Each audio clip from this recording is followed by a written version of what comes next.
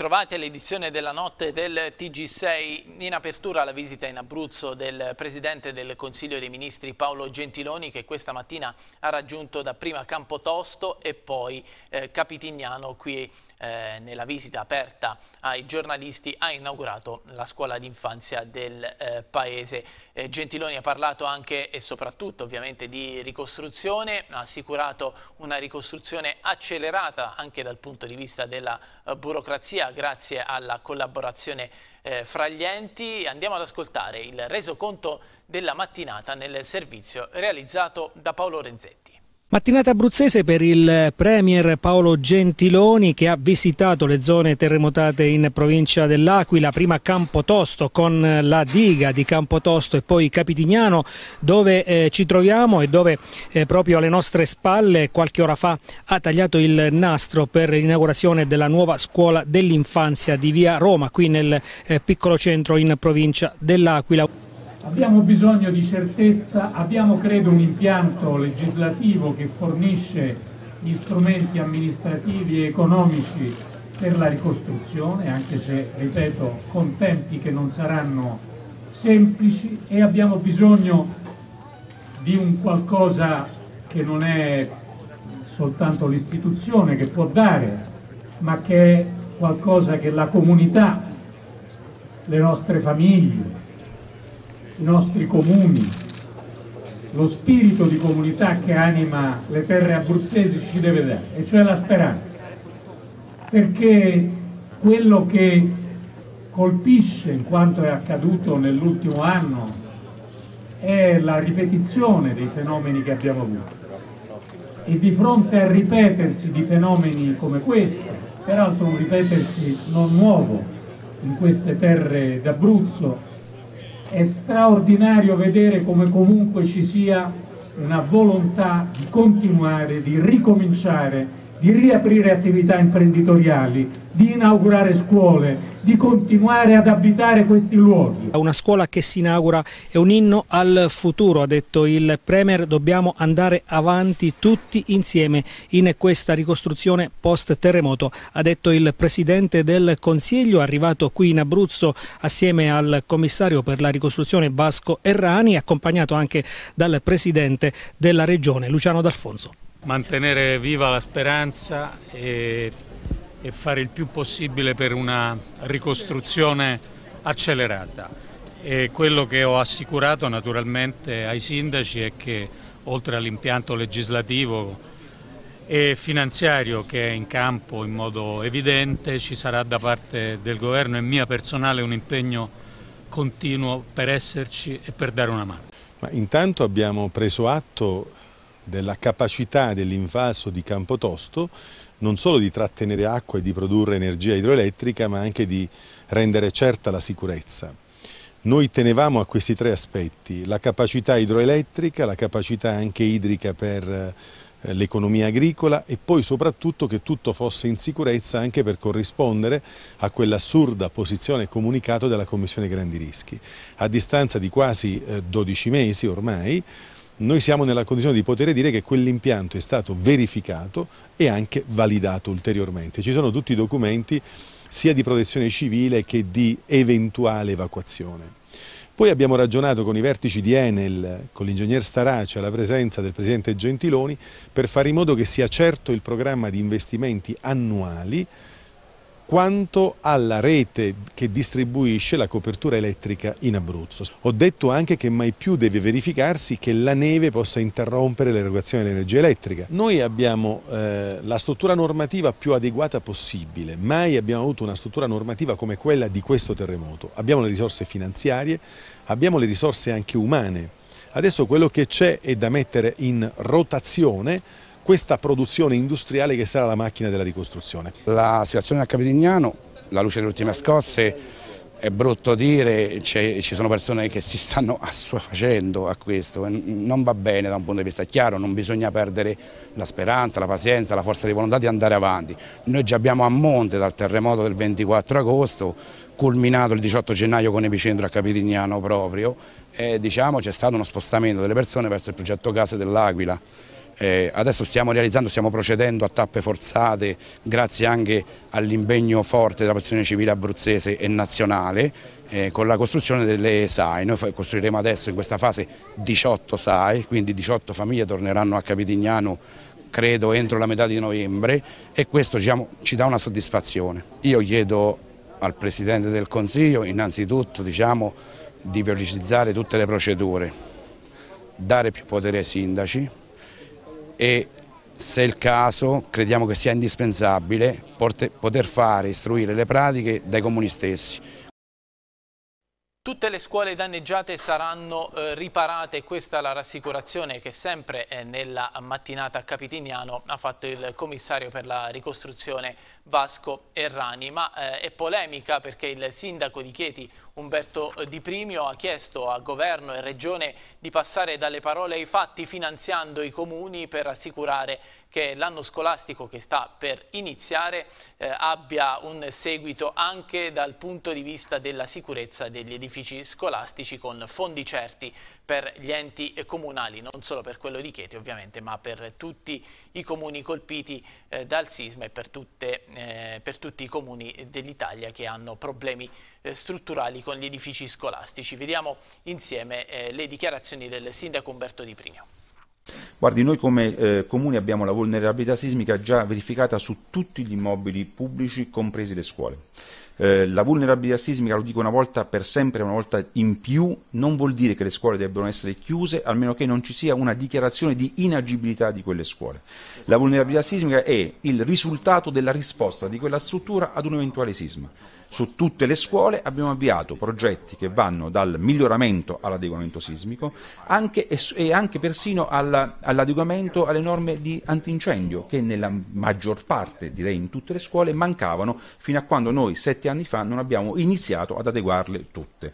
Ne abbiamo adeguate almeno un 50%, almeno un 50% di scuole sono state ad oggi eh, interessate da lavori di miglioramento adeguamento sismico o di miglioramento adeguamento sistema, del sistema antincendio, dobbiamo continuare su questa strada. Lo stiamo facendo con fondi propri, ma abbiamo bisogno, lo dico oggi che il Presidente del Consiglio è in Abruzzo, abbiamo bisogno non delle chiacchiere che spesso fa la Regione o delle promesse che ci fa il Governo nazionale, ma di soldi all'interno delle casse non del mio comune, ma di tutti i comuni italiani se vogliamo che le scuole vengano adeguate. Ed ora passiamo alla cronaca, rapina in villa a Santa Maria in Baro, aggrediti e malmenati con un piede di porco moglie e marito che stavano rientrando ieri sera attorno alle 20.30 dalla propria attività eh, commerciale. Noi andiamo ad ascoltare il racconto eh, del eh, commerciante vittima eh, dell'aggressione.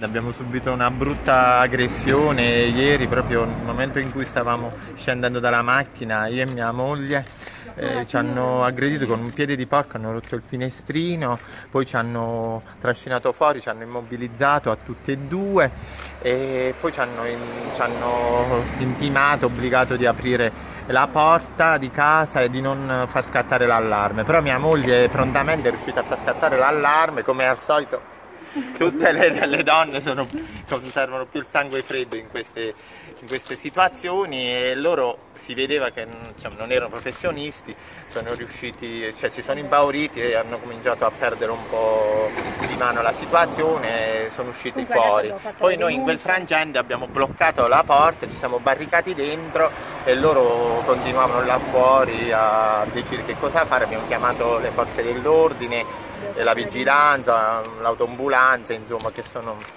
sono, sono arrivati quasi tempestivamente. Infatti colgo l'occasione per ringraziare tutti che ci hanno aiutati, ci sono stati veramente vicini in questi momenti terribili. Guarda, questo è un, proprio, è un, come devo dire, eh, stanno ledendo proprio il nostro diritto di libertà, perché non è soltanto a noi come persone, ma a tutta la collettività, la comunità locale perché non si può stare più sicuri nelle case proprie, perciò invito le istituzioni a prendere qualche provvedimento perché se no fra qualche tempo non so come andremo a finire. Una litere degenera, un 39enne avezzanese ferisce con un bicchiere di vetro un 32enne eh, romano. Scatta così la denuncia per lesioni aggravate da parte dei carabinieri di eh, Tagliacozzo. È accaduto durante la serata finale della eh, rassegna Gironi Divini, il servizio di Daniela Rosone. Una lite per futili motivi degenerata e così un 39enne avezzanese è stato denunciato dai carabinieri di Tagliacozzo coordinati dal capitano Edoardo Commandè per lesioni aggravate. I fatti sono avvenuti nella serata conclusiva dell'evento Gironi di Vini di Tagliacozzo, una rassegna enogastronomica molto conosciuta nella Marsica. Secondo i militari che hanno raccolto le testimonianze dei presenti, l'uomo durante una degustazione vicino Palazzo Ducale ha litigato con un 32enne di Roma, una lite degenerata come dicevamo nel giro di pochi minuti, tant'è che l'Avezzanese ha scagliato un bicchiere di vetro sul viso dell'uomo di Roma, fuggendo subito dopo. Un episodio notato dai presenti che subito hanno chiamato il 112. Poco dopo sono intervenuti sul posto i militari, ma l'autore del gesto si era già allontanato. Il ferito è stato curato per ferite e contusioni varie all'ospedale di Tagliacozzo, dove gli sono stati riconosciuti otto giorni di prognosi. Per l'uomo di Avezzano si è proceduto d'ufficio, trattandosi di lesioni aggravate. Ed ora torniamo purtroppo a parlare dell'incendio del Morrone perché eh, il monte ha ripreso a, a, bruciare. Questa mattina si è pericolosamente riacceso un focolaio in località Pozzacchio eh, vicino Rocca Casale obbligando il eh, DOS, dirigente operazioni di spegnimento, a spostare uomini e mezzi sul fronte eh, delle fiamme che si è eh, propagato in una zona molto eh, delicata. A ridosso del fuoco mh, mm, ci sono cumuli di materiale eh, combustibile trascinati sul costone della montagna da una seconda eh, slavina caduta negli anni scorsi e subito eh, dopo ci sono le prime case del comune di Rocca Casale. Sono al lavoro ehm, eh, ovviamente 50 uomini e i Canadair per cercare di eh, contenere le fiamme. E cambiamo argomento adesso, sarà un autunno caldo per la politica pescarese che si appresta a discutere del progetto di riqualificazione delle aree di risulta eh, davanti alla stazione centrale. Il Movimento 5 Stelle ha prodotto delle osservazioni che andiamo ad ascoltare nel servizio. Il progetto di riqualificazione delle aree di risulta di Pescara deve passare obbligatoriamente dal Comitato Via Regionale e quanto sostiene il gruppo consigliare del Movimento 5 Stelle di Pescara critico nei confronti degli aspetti procedurali e tecnici del progetto che in autunno arriverà nell'aula del Consiglio Comunale. Criticità che i 5 Stelle hanno condensato in un documento di osservazione al progetto a partire dalla strada sotterranea che per l'assessore civitarese è una strada di quartiere mentre secondo il codice della strada strada, dicono i grillini, è una strada urbana di scorrimento, pertanto automaticamente soggetta a via a norma di legge.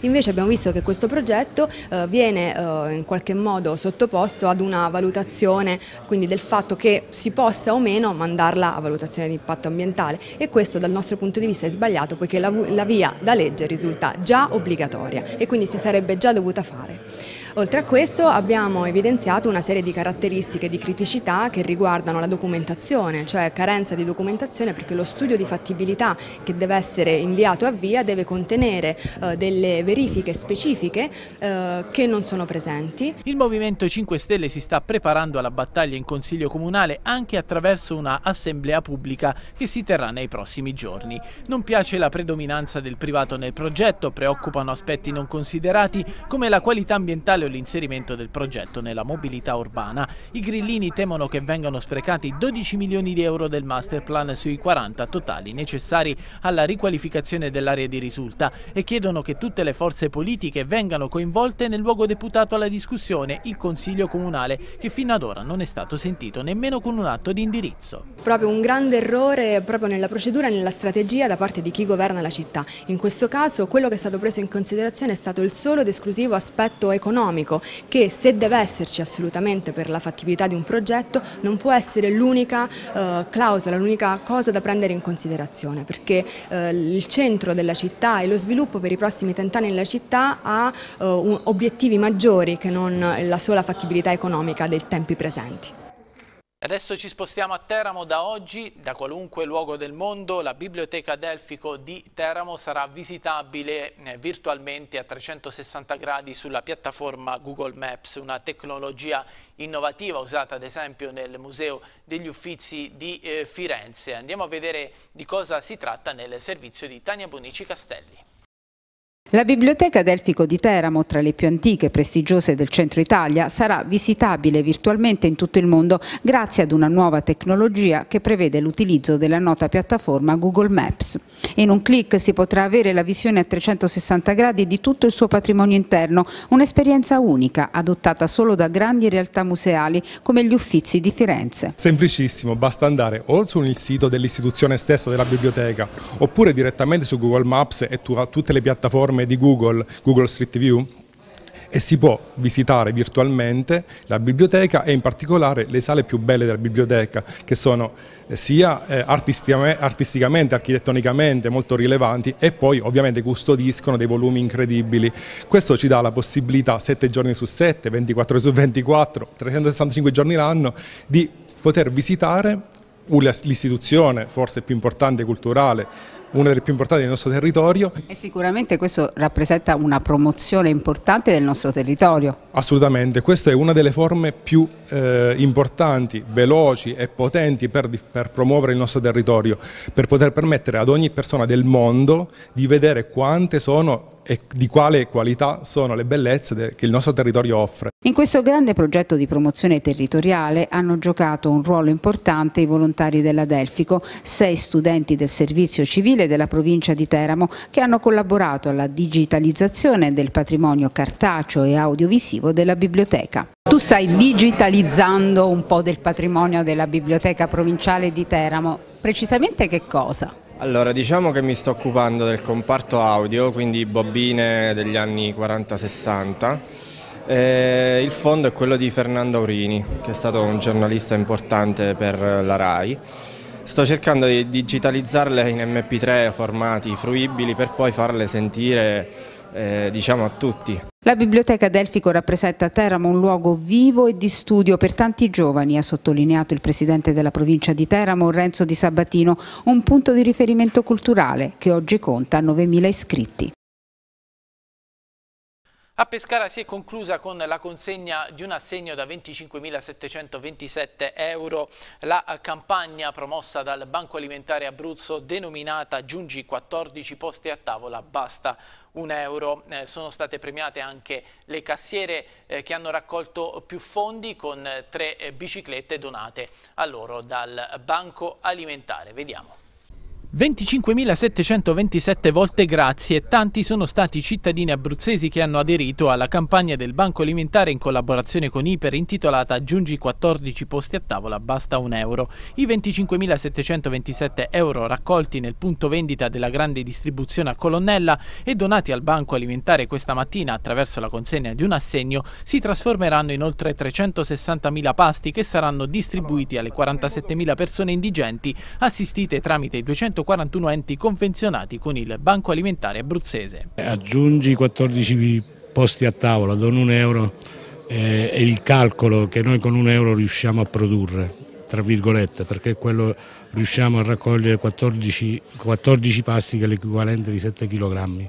Noi ringraziamo la Grande I che ci ha dato questa opportunità, ringraziamo i clienti della Grande I che hanno aderito 25.727 volte e soprattutto ringrazio i miei collaboratori e i nostri volontari che poi ci permetteranno di distribuire in tutta la regione i pasti che abbiamo raccolto, i prodotti alimentari che, che ci permetteranno con questa cifra qua di, di, di continuare a raccogliere e a distribuire. Tra pochi giorni ricorre il ventennale della fondazione del Banco Alimentare, siamo all'interno di questo capannone a Pescara, vogliamo raccontare che cosa fa il Banco Alimentare? Beh, Banco Alimentare nasce 20 anni fa con la prima giornata nazionale della colletta alimentare, in realtà lavora tutto l'anno, 365 giorni l'anno ed è aperto tutti i giorni. Noi raccogliamo prodotti alimentari dalla grande distribuzione organizzata, dalle aziende dell'agroalimentare e li distribuiamo a circa 191 strutture in Abruzzo che si occupano della povertà. Vanno dalle mense per i poveri alle case d'accoglienza, alle caritas parrocchiali ad associazioni che vanno fanno pacchi alle famiglie. Questo grazie soprattutto ai volontari, abbiamo circa una quindicina eh, volontari che costantemente ci danno una mano e che ci permettono di poter rispondere a questi bisogni.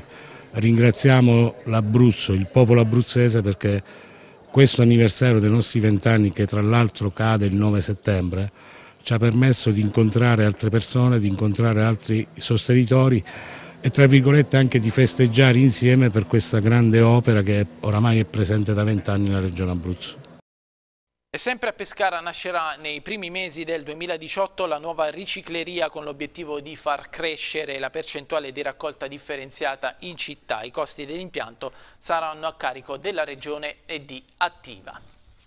Il Consiglio Comunale all'unanimità, ci tengo a dire, anche l'opposizione ha votato questa delibera, ehm, è stato approvato il progetto definitivo con la variante al piano regolatore eh, di della seconda ricicleria della città di Pescara, ma eh, è fondamentale per noi eh, questa infrastruttura che si lega ad una serie di infrastrutture che il Comune di Pescara insieme ad Attiva sta portando avanti, il centro per il riuso per esempio è una di queste, abbiamo acquistato la piattaforma di Alanno, quindi ci sono una serie di infrastrutture che sono da supporto a quella che è poi la raccolta differenziata porta a porta che abbiamo iniziato con estendimenti sette estendimenti annui e noi contiamo ai primi mesi del, del 2018 di eh, portare la città di Pescara al 52% di eh, persone che fanno la raccolta differenziata. Pescara parte male, parte con un gap molto molto in ritardo rispetto alle altre città ma stiamo recuperando, stiamo recuperando bene. I lavori inizieranno diciamo da subito,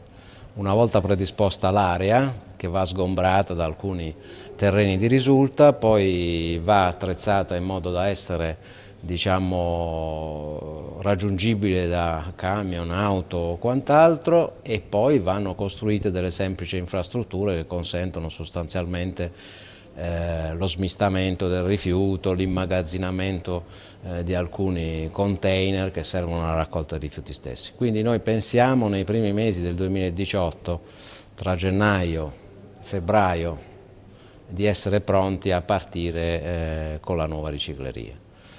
Il costo sostanzialmente in parte viene finanziato eh, dalla Regione e in parte viene eh, diciamo, eh, corrisposto da, da, noi come attiva, come diciamo, branch del comune di Pescara. Quindi immaginate che il costo totale che abbiamo stimato si aggiri attorno a 400.000 euro, tra 4 e 500.000 euro. Il Porsche Club Abruzzo Molise ha organizzato per il 9 e 10 di settembre un viaggio di due giorni attraverso i luoghi feriti dal terremoto. Si tratta del primo Porsche Rally Interclub dei Parchi d'Abruzzo, un'iniziativa nata per onorare la campagna nazionale Viaggio nel cuore dell'Italia. Andiamo a vedere. Un viaggio di due giorni in programma il 9 e 10 settembre lungo le strade più suggestive del Parco Gran Sasso e Monti della Laga per essere vicini ai luoghi feriti dagli ultimi terremoti. L'iniziativa è del Porsche Club Abruzzo Molise che ha organizzato il primo Porsche Rally Interclub dei Parchi d'Abruzzo nell'ambito della campagna nazionale Viaggio nel cuore dell'Italia. Noi siamo del Porsche Club Abruzzo Molise e a prescindere dal piacere delle nostre auto però abbiamo l'affetto per la nostra regione.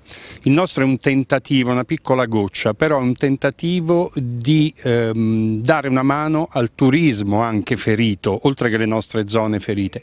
E in questo abbiamo progettato, per questo abbiamo progettato ehm, questa manifestazione. Siamo 50 macchine, abbiamo aperto le iscrizioni al mattino, chiuse la sera per sold out, ma il nostro intento, questa non è la fine, con la manifestazione non finiremo il nostro progetto, non lo concluderemo, ma inizierà un progetto molto più ampio perché ho intenzione di portare 100-150 auto, quindi 300 persone nelle nostre montagne. Si parte la mattina di sabato 9 settembre dall'Aquila, direzione Capannelle per giungere fino a Campotosto e poi a Torricella Sicura, Teramo e a Giulianova. Domenica 10 settembre invece è prevista la partenza alla volta di Campo Imperatore per raggiungere Capestrano dove è in programma una colazione nell'antico convento di San Francesco. Ci sono tante persone che non conoscono la, eh, il porto della provincia di Teramo e della città capoluogo l'Aquila e che in questa occasione avranno modo di conoscerla. Il Porsche Club Abruzzo Molise si impegna anche a realizzare un filmato e un calendario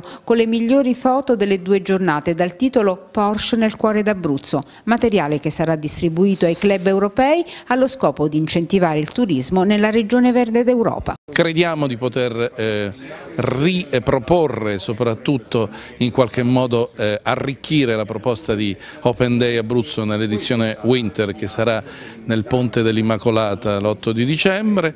Eh, in questo modo speriamo anche di dare corso all'accordo di programma e al um, protocollo firmato da me e dal uh, direttore generale del MIBACT Ninni Cutaia per quanto riguarda le attività di spettacolo da mettere in corso nell'area cratere soprattutto nel Teramano con una cifra abbastanza congrua che ha grandi, grandissimi nomi della cultura nazionale e internazionale. Noi stiamo facendo moltissimo lavoro sulle aree interne che sono eh, decisamente molto più importanti di queste cose che capitano e che devono C'è tutto un disegno, io stesso mi occupo anche della quinta area che abbiamo messo in moto che è quella del Gran Sasso, dei, mon dei Monti della Raga e questo rapporto insomma eh, sta venendo fuori. Ed ora siamo allo sport, nel Pescara recuperano Bove e Fornasier ma restano fermi Latte Latte e Mancuso che salteranno anche il match di dopodomani con il Frosinone. Rientrano dalle convocazioni eh, nelle giovanili nazionali del Sole e Capone, quest'ultimo potrebbe trovare spazio nel eh, famoso tridente di Zeman. In attacco ballottaggio fra Pettinari e Gans. Andiamo ad ascoltare adesso il neo centrocampista senegalese Frank Canute che si presenta e dice mi ispiro a Vieira.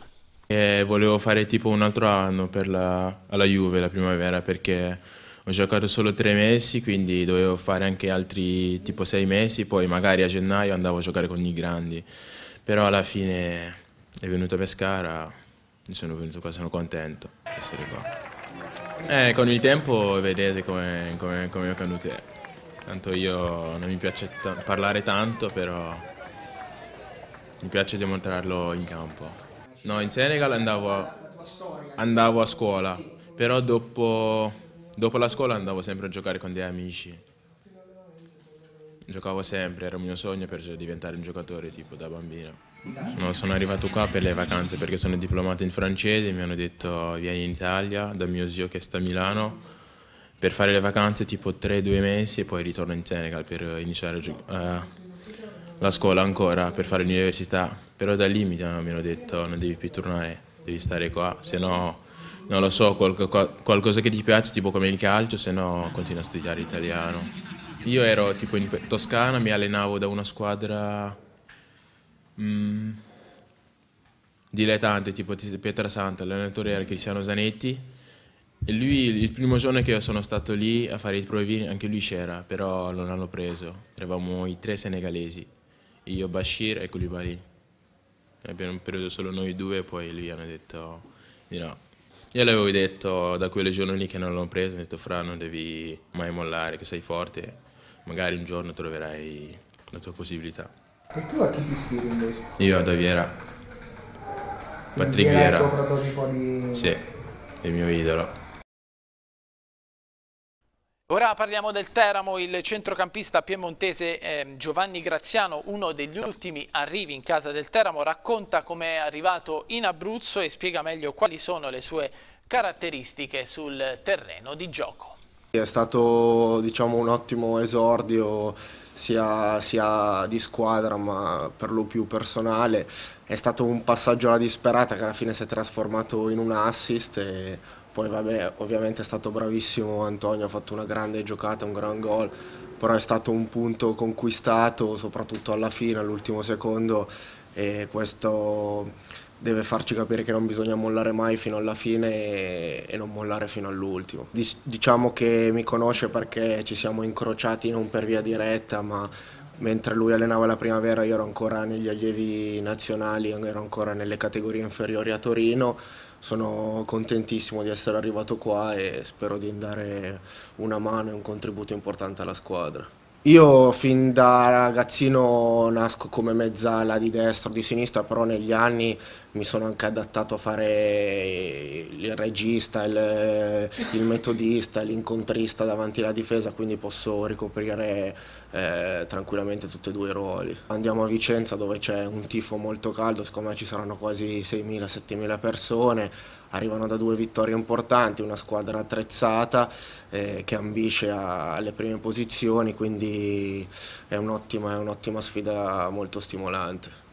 Ci sono due barra tre giocatori per ruolo, io spero, spero già anche la scorsa partita col Mestre sono, sono, riuscito a entrare verso la fine, sono riuscito a dare il mio contributo, poi se sarà dall'inizio partita in corso, ovviamente spero è meglio per me a inizio partita, però se sarà partita in corso io eh, cercherò sempre di tro farmi trovare pronto e di dare una mano alla squadra. Spero di trovare spazio e però in qualsiasi caso io, io, mi farò trovare sempre pronto. Sinceramente sapevo di dover fare anni di gavetta però ehm, ho qualche rimpianto ma solo, solo, personale su qualche atteggiamento che magari eh, tornassi indietro cambierei eh, durante le settimane, atteggiamenti magari anche che ho avuto eh, nei confronti di addetti ai lavori tipo mister che ho avuto lì Torino, però sapevo che sarebbe stato faticoso comunque, che avrei dovuto fare anni di gavetta in, in Lega Pro, e, però qualche atteggiamento mio personale non, non, lo, non lo rifarei. Sì. Prima di chiudere una notizia che riguarda il Francavilla, siamo alla Serie D, scossone in casa giallorossa, il centrocampista ed ex capitano Matteo Milizia, classe 93, assieme al centrale di difesa Manuel Di Lallo, classe 96, lasciano la casacca del Francavilla. Entrambi nello scorso torneo di eccellenza sono stati protagonisti della cavalcata eh, verso la Serie D, culminata con la finale playoff nazionale persa con il Fabriano Cerreto e poi con il eh, ripescaggio di queste quest'estate. Milizia cresciuto nella, ehm, nelle giovanili del Francavilla vanta eh, al suo attivo 280 presenze con la casacca adriatica, di Lallo invece Scuola Pescara nello scorso campionato è stato per rendimento fra i migliori della eccellenza abruzzese. È tutto anche per l'edizione della notte del TG6, prossimi appuntamenti con la nostra informazione domani mattina alle ore 8 con la rassegna stampa di Mattino 6 e poi con le tre edizioni canoniche del eh, telegiornale alle 14, alle 19 e alle 23. Grazie per averci seguito, vi auguro la buonanotte.